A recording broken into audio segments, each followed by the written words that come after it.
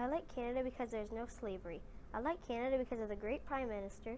I like Canada because we are free. I like Canada because of the great schools. I like Canada because the country is so big and we can make more things to help each other. I like Canada because we support other people that need it.